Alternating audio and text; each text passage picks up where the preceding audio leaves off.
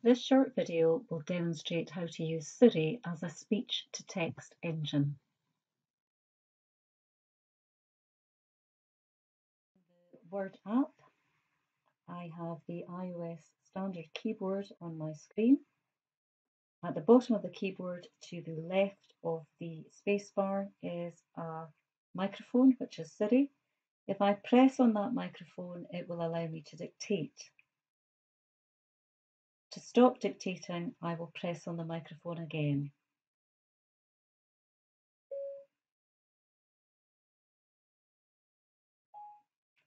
So that shows you the starting and stopping options of the microphone.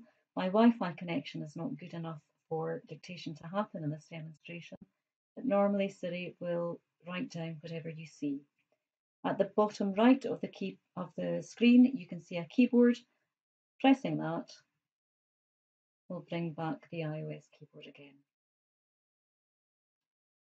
Siri should work without any problems, but if you encounter problems, you might want to investigate some of the settings options. So within general, within restrictions, I can ensure that Siri is turned on and dictation is enabled. And also I can ensure that Siri will not dictate explicit language.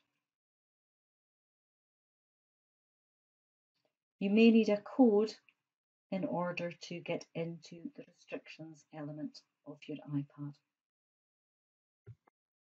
Follow these instructions to use Siri as a speech-to-text engine. Thank you for watching this video.